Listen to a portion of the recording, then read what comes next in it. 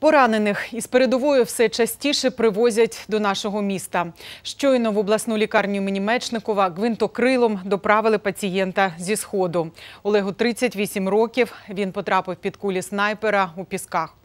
Військові надали чоловіку першу медичну допомогу та на апараті штучної вентиляції легень передали дніпровським лікарям. Вони констатували величезну крововтрату і тяжкий травматичний шок. Одна куля влучила у стегно, інша майже вщент розірвала ліву руку. Медики навіть не сподівалися зберегти кінцівку, але зараз кажуть, шанси є. Робитимуть усе можливе, щоб уникнути ампутації. Наразі, за словами фахівців, життю Олега нічого не загрожує.